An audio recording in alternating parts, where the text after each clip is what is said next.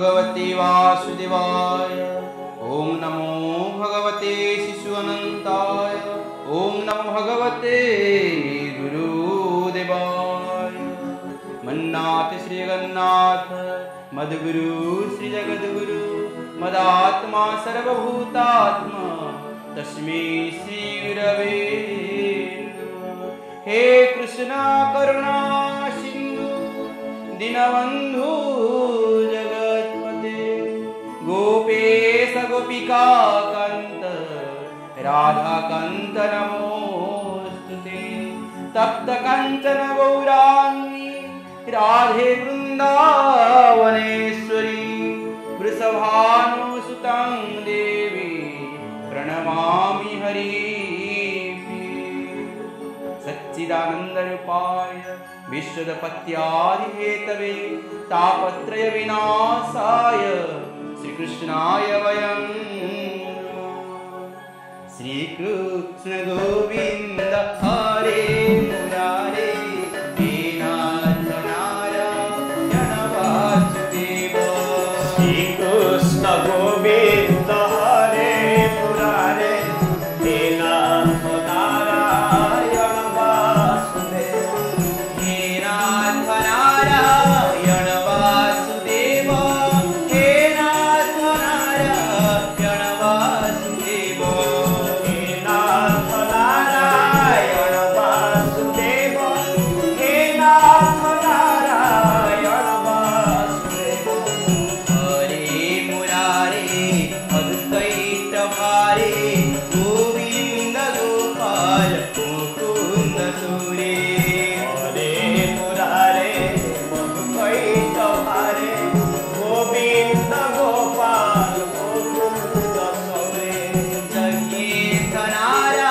Fiona.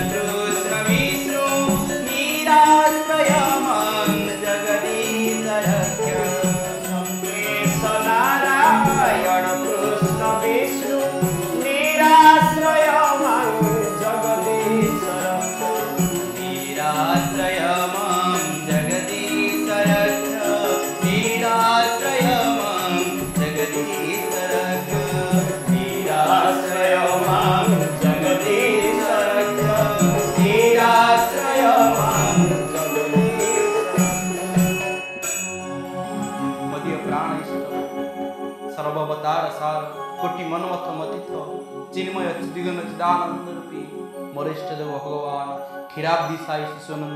प्रभु जगन्नाथ स्वरूप प्रणाम समस्त सद्गुरु मान को मोर गुरुदेव विश्व प्रेमी बलिया स्वरूप प्रणाम निवेदन कर श्रोता मान को प्रणाम निवेदन कर आम भल भाव जानी भल भाव बुझीचे जे आमे ଯେମିତି କରିବା ସେମିତି ଫଳ ମଧ୍ୟ ପାଇବା। ଭଗବାନ ଶିବ ତପେବର ନହେଲେ କୋପେବର ଦେଖିବେ ସୋମବାର ଦିନ ମନ୍ଦିର ମାନଙ୍କରେ କେତେ ଭିଡ଼ ଲାଗୁଥିବ। କାରଣ ସମସ୍ତେ ଜାଣିଛନ୍ତି ଶିବ ବର ଦିଅନ୍ତି। କିନ୍ତୁ ଶିବ ଭୋଲେନାଥ ଏ ଦେବା ଦେବୀ ମାନେ କେତେ ଗୁଡ଼ିଏ ଆମେ ବିଷୟ ପଢୁ କେତେ ଗୁଡ଼ିଏ କଥାକୁ ଶ୍ରବଣ କରୁ କିନ୍ତୁ ଏ କଥା ଭିତରେ ସବୁ କଥା ଭିତରେ କିଛି ସାର ନିର୍ଯାସ ଥାଏ। ସେ ସାର ନିର୍ଯାସ କ'ଣ?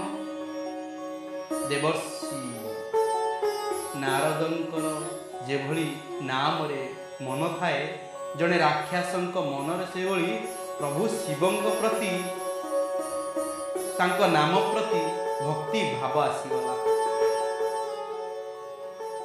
ସିଏ କଣ କଲେ? ନା ପ୍ରତି କ୍ଷଣରେ ସେ ଶିବଙ୍କୁ ପ୍ରାର୍ଥନା କଲେ। ସିଏ ହଉଛି ରାକ୍ଷାସ। କିନ୍ତୁ ସେ ଶିବଙ୍କୁ ପ୍ରାର୍ଥନା କରୁଛନ୍ତି। ପ୍ରିୟ ସଜ୍ଜନ ମୋ ବାପା ମା ମାନେ ଏ ସେବକୁ ଗୋଟିଏ କଥା କହିବ। ଯଦି ଆମେ କରୁଥିବା କାର୍ଯ୍ୟ ତାର ଲକ୍ଷ୍ୟ ଯଦି ମହତ ନଥିବ ନା ତାହେଲେ ଆମର କର୍ମ ବିଫଳ ହେଇଯିବ। ହଁ। ଉଦ୍ଦେଶ୍ୟ ସବୁବେଳେ ମହତ ରଖିବା ଦରକାର। ଯଦି ଉଦ୍ଦେଶ୍ୟ ମହତ ଅଛି କରୁଥିବା କର୍ମ ଯଦି ଟିକେ ଭୁଲ ହେଇଯାଏ ତଥାପି କ୍ଷମା ଅଛି ଏବଂ ତା ପାଇଁ ପ୍ରଭୁ ସହଯୋଗ କରିବେ। ଯଦି ଉଦ୍ଦେଶ୍ୟ ମହତ ନାହିଁ ଆମେ ଯୋଉ କର୍ମ କରୁଛେ ଭଲ କର୍ମ ଖାଲି ଦେଖେଇବା ପାଇଁ ଭଲ କର୍ମ କରୁଥିବା କିନ୍ତୁ ଉଦ୍ଦେଶ୍ୟ ଖରାପ ଥିବ। ନିଶ୍ଚିତ ଭାବରେ ତା ଫଳ ବିଫଳରେ ପରିଣତ ହେବ ଜୀବନରେ। ସେ ରାକ୍ଷସ କ'ଣ କଲେ? ପ୍ରଭୁଙ୍କୁ ପ୍ରାର୍ଥନା କରୁଛନ୍ତି କିନ୍ତୁ ଉଦ୍ଦେଶ୍ୟ ନିଶ୍ଚିତ ଭାବରେ କିଛି ମହତ ନାହିଁ ତାହେଲେ ଶିବ ତାଙ୍କ ଆଗରେ ଆବିର୍ଭାବ ହୋଇଗଲେ। କହିଲେ କ'ଣ? ବସ ତମେ ଆଖି ଖୋଲ। କାହିଁକି ଆଖି ମୁଦିଛ? ଆଖି ଖୋଲି ଦିଅ। ଆଖି ଖୋଲିଦେଲେ ହାତ ଯୋଡ଼ି ହେଉଛନ୍ତି ରାକ୍ଷସ କହିଲେ ପ୍ରଭୁ ମୁଁ ଆପଣଙ୍କର ଦର୍ଶନ ପାଇଁ କୃତାର୍ଥ ହେଇଗଲି ଭଗବାନ ଶିବ କହିଲେ ତମେ ସିନା କୃତାର୍ଥ ହେଇଗଲ କିନ୍ତୁ ତମେ ଏତେ କଷ୍ଟରେ ମତେ ଡାକୁଥିଲ ତମେ କଣ ମାଗୁଛ ମାଗିବ କି କହିଲେ ପ୍ରଭୁ ମୁଁ କଣ ମାଗିବି ଆପଣ ଯାହା ଦେବେ ଦେବେ ପ୍ରଭୁଙ୍କ ପାଖରୁ ଏଭଳି ଏକ ବର ନେଇଗଲେ। ଯାହା ମୁଣ୍ଡରେ ହାତ ଥୋଇବ ସେ ଭସ୍ମ ହେଇଯିବ। କିନ୍ତୁ ରାକ୍ଷସ ମନ ଭିତରେ ମହତ ଉଦ୍ଦେଶ୍ୟ ନାହିଁ। ରାକ୍ଷସ କଣ କଲା ଆଗେ ଦେଖିଲା କହିଲା ମୁଁ ତ ଏତେ ବଡ ବିଦ୍ୟା ପାଇଲି କାରଣ ଇଏ ସବୁ ସେଇ ମାୟାଧରଙ୍କର ରଚନା ଇଏ ସବୁ ସେଇ ମାୟାଧରଙ୍କର ପ୍ରଭୁଙ୍କର ରଚନା। ରାକ୍ଷସ ଜଣକ କଣ କଲେ ନା ସେ ରାକ୍ଷସଙ୍କ ନାଁ ହେଇଗଲା ସାଙ୍ଗେ ସାଙ୍ଗେ କଣ ନା ଭସ୍ମାସୁର ଯାହା ମୁଣ୍ଡରେ ହାତ ଦେବେ ସେ ମରିବ ଏ ଭସ୍ମାସୁର କଣ କଲେ ନା କହିଲେ ପ୍ରଭୁ ଆପଣ ମତେ ବର ଦେଲେ ବରଟା ଠିକ କି ଭୁଲ ସତ କି ମିଛ ମୁଁ ଜାଣିବି କେମିତି? କହିକି ଆଗେ ଗଲେ ମୁଣ୍ଡରେ ହାତ ମାରିବା ପାଇଁ ଶିବଙ୍କୁ ଭଗବାନ ଶିବ କହିଲେ ଇରେ ଇରେ ଇରେ, ଇଏ କଣ ଇଏ କଣ କହି ଶିବ ମୁଣ୍ଡରେ ଗଲେ ଦୌଡ଼ିଲେ ଦୌଡ଼ିଲେ ଦୌଡ଼ିଲେ। ଯିବେ କୋଉଠି? ସମସ୍ତଙ୍କର ପଥ ତ ଗୋଟିଏ। ଚାଲିଗଲେ ବିଷ୍ଣୁଙ୍କ ପାଖକୁ। ସେ ଅନନ୍ତ ଶୟନରେ ବିଶ୍ରାମ ନେଉଛନ୍ତି। କାହିଁକି ବିଶ୍ରାମ ନେଉଛନ୍ତି? ଭଗବାନ ବିଷ୍ଣୁ ଭାବିଥିଲେ ଯେ ମନୁଷ୍ୟ ଦେହ ଦିବ୍ୟ ଜ୍ଞାନ ଦେଖି ସନ୍ତୋଷ ଭଗବାନ ସନ୍ତୋଷ ହେଇକି ବିଶ୍ରାମ ନେଇଥିଲେ। କିନ୍ତୁ ଆମର କାର୍ଯ୍ୟ ଏମିତି ହେଇଯାଉଛି ଭଗବାନ ସନ୍ତୋଷ ହେଇପାରୁନାହାନ୍ତି ବିଶ୍ରାମ ମଧ୍ୟ ନେଇପାରୁନାହାନ୍ତି। କହିଲେ ଶିବ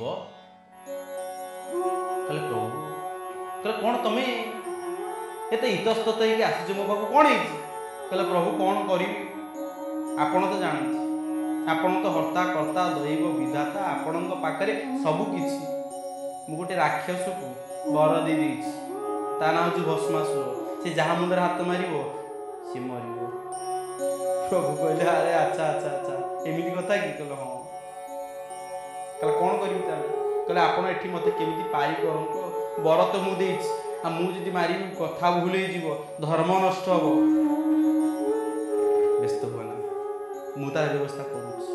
ବ୍ୟବସ୍ଥା କ'ଣ କଲେ ମୋ ପ୍ରଭୁ? ମୋ ପ୍ରଭୁ ତାହା କଲେ ଯାହା କରିବାର ଅଛି।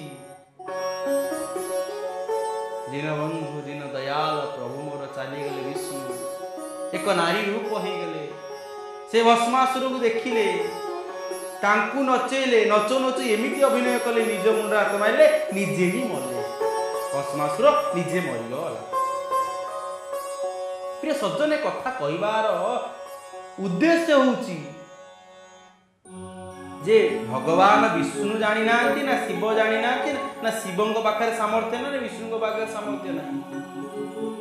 ବର୍ତ୍ତମାନ ସମାଜରେ ଆମେ ଯାହା କରୁଛେ ଆମେ ଯୋଉ ପରମାଣୁ ବୋମା ତିଆରି କରୁଛେ କିମ୍ବା ଆମେ ଯାହା ବି କରୁଛେ ଏସବୁ କାହା ପାଇଁ ତିଆରି କରୁଛେ? କଣ ତା ଦ୍ୱାରା ଗରିବ ଲୋକଟି ଖାଇବା ପାଇଁ ପାଇବ?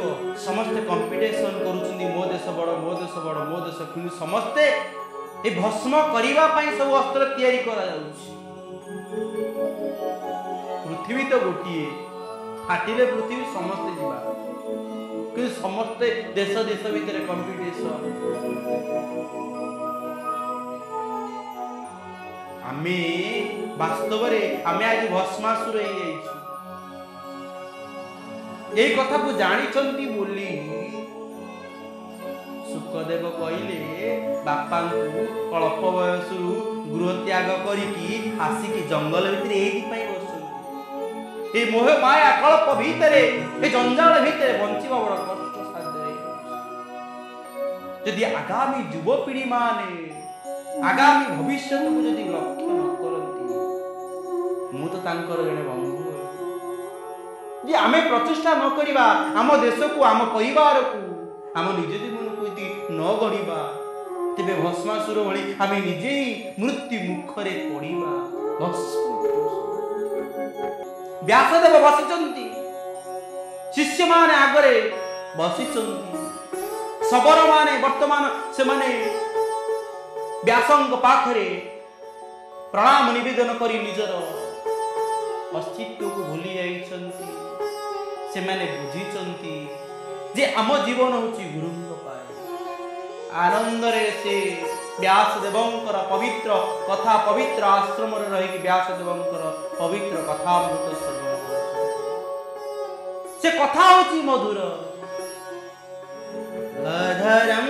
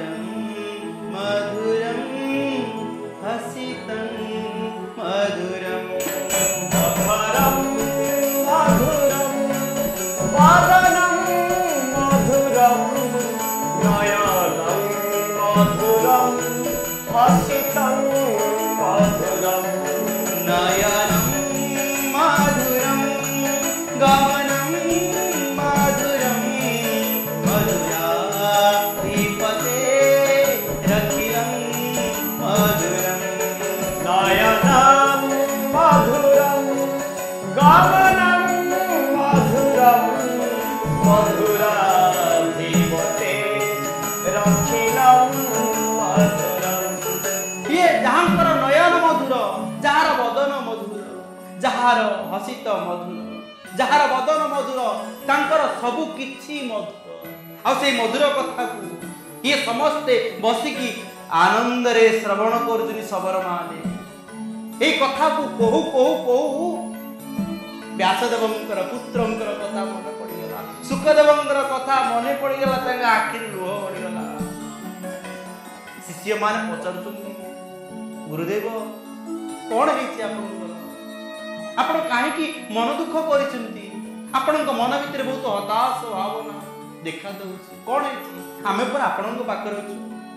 ଆପ- ଆମେ ଥାଉ ଥାଉ ଯଦି ଆପଣଙ୍କ ଆଖିରୁ ଲୁହ ଗଡ଼ି ଆମକୁ କଣ ଭଲ ଲାଗିବ? ବ୍ୟାସଦେବ କହୁଛନ୍ତି କଣ କହିବି ତୁମକୁ? ମୋର ଗୋଟିଏ ଅଳ୍ପ ବୟସର ବାଳକ ସିଏ ମତେ ଛାଡ଼ିକି ଜଙ୍ଗଲକୁ ଘଞ୍ଚ ଜଙ୍ଗଲକୁ ଚାଲି ଯାଇଛି ମୁଁ ତାକୁ ଖୋଜୁଛି ଏ ଘଞ୍ଚ ଜଙ୍ଗଲକୁ କିଏ ଯିବ ଖୋଜିବା ପାଇଁ ସମସ୍ତେ କହିଲେ ଆମେ ପରା ଅଛୁ ଗୁରୁଦେବ ଆପଣଙ୍କର ଆମେ ପୁତ୍ର ନୁହେଁ ଆପଣ ଆମକୁ କୁହନ୍ତୁ ଆମେ ଯିବୁ ଜଙ୍ଗଲ ଭିତରକୁ ଏବଂ ତାଙ୍କୁ ଖୋଜିକି ଆଣିବୁ ଗୁରୁଙ୍କର କଥାମୃତକୁ ଶ୍ରବଣ କରି କରି ଗୁରୁଙ୍କର ଏଭଳି ଏକ ପରିସ୍ଥିତିରେ ସହଯୋଗ କରିବା ପାଇଁ ଏମାନେ ସମସ୍ତେ ଜଙ୍ଗଲକୁ ଗଲେ। ଆଉ ଜଙ୍ଗଲରେ ଯାଇକି ଯେତେବେଳେ ପହଞ୍ଚି ଯାଇଛନ୍ତି ନା ଘଞ୍ଚ ଜଙ୍ଗଲ ଭିତରେ ଖୋଜୁଛନ୍ତି ଖୋଜୁଛନ୍ତି କୁଆଡେ ଗଲା? କୁଆଡେ ଗଲେ ସେ ସୁଖଦେବ? ସୁଖଦେବ ଏକ ଜାଗାରେ ବସିଛନ୍ତି। କୋଉପିନ ଧାରଣ କରିଛନ୍ତି ହେଇ ବସିଛନ୍ତି। ଧ୍ୟାନସ୍ଥ ହେଇ ଯେତେବେଳେ ବସିଛନ୍ତି ନା ଇଏ ବ୍ୟାସଦେବଙ୍କର ଶିଷ୍ୟମାନେ ଦେଖିଲେ ଗୁରୁଦେବ ଯେମିତି କହିଥିଲେ ସୁନ୍ଦର ଚୁଟି ସୁନ୍ଦର ମୁଖ ଶାନ୍ତ ପ୍ରଶାନ୍ତ ବଦନରେ ଗାମ୍ଭୀର୍ଯ୍ୟରେ ବସି ଯାଇଛି ଏଇ ତାହେଲେ ସୁଖଦେବ ସମସ୍ତେ ଚାଲି ଆସିଲେ ବ୍ୟାସଦେବଙ୍କ ପାଖକୁ। ସମସ୍ତଙ୍କ ମୁହଁରେ ହସ ଅଛି। ପାଖରେ ବସିଛନ୍ତି। କହୁଛନ୍ତି ଗୁରୁଦେବ ଆମେ ପାଇଯାଇଛୁ। ଗୁରୁଦେବଙ୍କ ମୁହଁରେ ମଧ୍ୟ ହସ। ସେ ସେଇ ପୁତ୍ରକୁ ଖୋଜୁଛନ୍ତି। ଯୋଉ ପୁତ୍ର ଭାଗବତକୁ ଠିକ ଭାବରେ ପ୍ରଚାର କରିବ ସାଧାରଣ ଲୋକଙ୍କ ପାଖରେ ପହଞ୍ଚେଇବ। ସେଇଭଳି ପୁତ୍ର ଜଣେ ସେ ପାଇଯାଇଛନ୍ତି ଅତି ଆନନ୍ଦରେ ଅତି ଭାବରେ। ଶିଷ୍ୟମାନେ କହୁଛନ୍ତି ଗୁରୁ ଆନନ୍ଦରେ ଶୁଣୁଛନ୍ତି। କହିଲେ ଆଚ୍ଛା ଆଚ୍ଛା ଆଚ୍ଛା। କିନ୍ତୁ ଗୁରୁଦେବ ଗୋଟିଏ କଥା କହିଲେ କ'ଣ? ନା ସେଇ ଯୋଉ ଆପଣଙ୍କର ପୁତ୍ର ସୁଖଦେବ ବସିଛନ୍ତି ନା?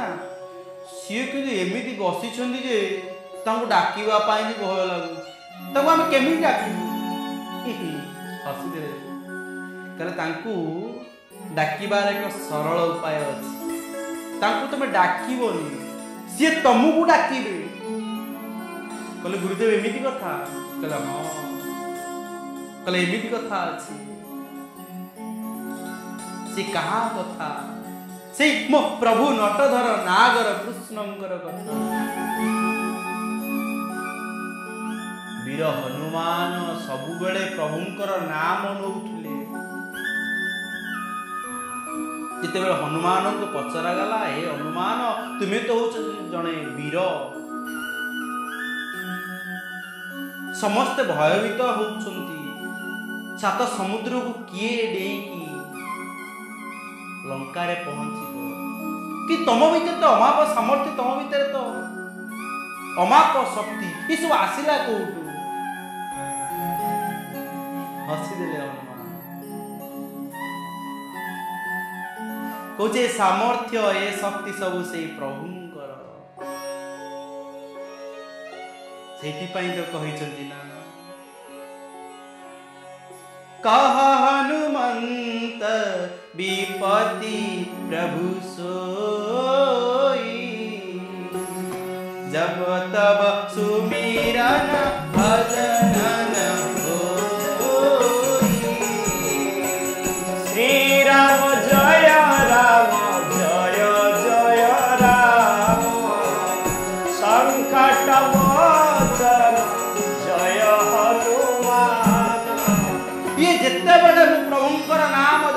କରିଦିଏ ପ୍ରଭୁଙ୍କର ନାମ ସ୍ମରଣ କରିଦିଏ ସେତେବେଳେ ମୋ ଭିତରେ ଅନେକ ଶକ୍ତି ସାମର୍ଥ୍ୟ ସଞ୍ଚାରିତ ହେଇଯାଏ ଏମିତି କଥା କହିଲେ ହଁ ଏମିତି ହିଁ କଥା ଆଜି ସେଇଥିପାଇଁ ଏମାନେ ସମସ୍ତେ ବସିଛନ୍ତି ସେଇ ନାମକୁ ଧରି ସେଇ ଭାବକୁ ଧରି ସେ ନାମର ପ୍ରଭାବ ଏତେ ଅଛି ପ୍ରଭୁଙ୍କ ନାମରେ ଏତେ ପ୍ରଭାବ ଅଛି ଯଦି ପ୍ରଭାବ ନଥାନ୍ତା ତାହେଲେ ମୁନି ଋଷିମାନେ କ'ଣ ଗୃହତ୍ୟାଗ କରି ଯାଇଥାନ୍ତେ ଗୁରୁଙ୍କ ପାଖରେ ବସିକି ସକାଳୁ ସକାଳୁ ଆଲୋଚନା କରୁଛନ୍ତି ଏବଂ କହୁଛନ୍ତି ଗୁରୁଦେବ କହୁଛନ୍ତି ବ୍ୟାସଦେବ କହୁଛନ୍ତି ଶିଷ୍ୟମାନଙ୍କୁ କହିଲେ ତୁମେ ଏଥର ବାହାର ଯିବା ପାଇଁ। ଏବଂ ଗଲାବେଳେ ମୁଁ କାଗଜରେ ଗୋଟିଏ ଲେଖିକି ଦେବି। ଏଇ ଲେଖା ହିଁ ସେତେବେଳେ କ'ଣ କାଗଜ ଥିବ ସେତେବେଳେ ପତ୍ରରେ ତାଳପତ୍ରରେ ଲେଖା ହଉଥିଲା ନା ମୁଁ କହିଦେଲି କାଗଜ ନା ଆଉ ଲେଖିଦେଲେ ପତ୍ରରେ ଗୋଟିଏ ଶ୍ଲୋକ ଯୋଉ ଶ୍ଲୋକ ଲେଖିଲେ ସେଇ ଶ୍ଲୋକ ସୁଖଦେବଙ୍କ ପାଖରେ ପଡ଼ିବେ କେଉଁ ଶ୍ଲୋକ ଲେଖିଲେ ଆମେ ତ ଆଲୋଚନା କରିବା କିନ୍ତୁ ତା ପୂର୍ବରୁ ଗୋଟିଏ କଥା ରହିଯାଇଛି। ବ୍ୟାସଦେବଙ୍କର ଶିଷ୍ୟମାନେ ପଚାରୁଛନ୍ତି କହିଲେ ଗୁରୁଦେବ ଆପଣ ଯୋଉ ଶ୍ଲୋକଟି ଲେଖିଲେ କି ଆପଣଙ୍କ ପୁତ୍ର ତ ହଉଛି ବ୍ରହ୍ମର୍ଷି ଦେବ ସିଏ ଯୋଉ ଭାବରେ ଆଖି ତରାଟିକି ଯେମିତି ଉଁ, ବସିଛନ୍ତି ନା ତାଙ୍କୁ ଉଠିବା ବଡ କଷ୍ଟକର କହୁଛନ୍ତି ତାହେଲେ ତମେ ଜାଣିନ ବୋଧେ? ଭାଗବତ କହୁଛନ୍ତି স্বভাবে মুনি করাচিত গ্রন্থরে নুহ গ্রন্থিত গোবিন্দ গোবিন্দ গোবিন্দ মধু গড়ুছি মকরন্দ তথাপি অকিঞ্চন পণে ভজন্তি গোবিন্দ চরণে। গোবিন্দ গোবিন্দ গোবিন্দ মধু গড়ুছি মকরন্দ স্বভাবে মুনিঙ্কর চিত্ত ଯିଏ ମୁନି ତାଙ୍କର ଚିତ୍ତ ଏଇ ଗ୍ରନ୍ଥ ଭିତରେ କେବଳ ବାନ୍ଧିକି ନଥାଏ। ତଥାପି ଅକିଞ୍ଚନ ପଣେ କାରଣ ସେମାନଙ୍କର ମୁଣ୍ଡ କେତେବେଳେ ଗ୍ରନ୍ଥ ଭିତରେ ସିଏ ସବୁବେଳେ ଧ୍ୟାନ ହେଇକି ଯାଇକି ବସିଥିବେ। ବୃକ୍ଷ ମୂଳରେ ଜଙ୍ଗଲରେ। ତଥାପି ଅକିଞ୍ଚନ ପଣେ ଭଜନ୍ତି ଗୋବିନ୍ଦ ଚରଣୀ। ତଥାପି ଅକିଞ୍ଚନ ପଣେ ଭଜନ୍ତି ଗୋବିନ୍ଦ ଚରଣୀ। ଯେମିତି ସୁତ ସୌନକଙ୍କର ସମ୍ବାଦ ଆମେ ଶ୍ରବଣ କରୁଥିଲେ। ଅଠାଅଶୀ ହଜାରେ ବ୍ରହ୍ମର୍ଷିମାନେ ସବୁ କିଛି ପରିତ୍ୟାଗ କରିକି ସେମାନେ କଣ କରୁଛନ୍ତି? ତାଙ୍କରି ଚରଣ ସେବା କରୁଛନ୍ତି। ତାଙ୍କରି କଥାମୃତ ଶ୍ରବଣ କରୁଛନ୍ତି। ଆପଣମାନେ ଯୋଉ ଭାବରେ ଭାଗବତ ଶ୍ରବଣ କରୁଛନ୍ତି ଇଏ ପାଉଛି ସେ ନବଦା ଭକ୍ତିର ଏକ ଭକ୍ତି? ଶ୍ରବଣମ୍ କୀର୍ତ୍ତନಂ ବିଷ୍ଣୁ। ଏ କଥାକୁ ଆମେ ଭଲ ଭାବରେ ଆଲୋଚନା କରିବା। କେତେବେଳେ? ନା ସମୟ କାହାକୁ ଅପେକ୍ଷା କରିନି। କେଉଁ ଶ୍ଲୋକ ଲେଖିଲେ ବ୍ୟାସଦେବ? ଏମିତି ସେ ଶ୍ଲୋକ ଭିତରେ କଣ ଥିଲା ଯେ? ସୁଖଦେବ ଆସିକି ପଚାରିବେ ଯେ ବ୍ରହ୍ମଶିଷି ଆସିକି ପଚାରିବେ ସେ କଥା ଭିତରେ କଣ ଅଛି? ଆମେ ଶ୍ରବଣ କରିବା। ଭାବରେ ଭାଗବତ ପ୍ରିୟ ଶ୍ରୋତାମାନଙ୍କୁ ଏ ସେବକ ନିବେଦନ କରିବ ଜଣେ ପୁତ୍ର ଭଳି। ଆମେ ଆମ ଜୀବନକୁ ଭଗବତମୟ କରିବା କିଛି ସମୟ ଦେବା ଦେଖିବେ କେତେ ଆନନ୍ଦ ହେବ ପରିବାର ହସି ଉଠିବ। ତେଣୁ ସମୟ ତ କାହାକୁ ଅପେକ୍ଷା କରିନି ସମୟର ଘଣ୍ଟି ବି ବାଜି ଯାଉଛି। ଏବଂ ଆପଣମାନେ ମଧ୍ୟ ଆସନ୍ତାକାଲି ଠିକ୍ ଏହି ସମୟରେ ଶ୍ରବଣ କରିବା। तव कथामृतं तप्तजीवनं कविविरीडितं कल्मतापम् तव कथामृतं तप्तजीवनं कविभिरीडितं कल्मसाकम् श्रवणमङ्गलं श्रीमदातकम्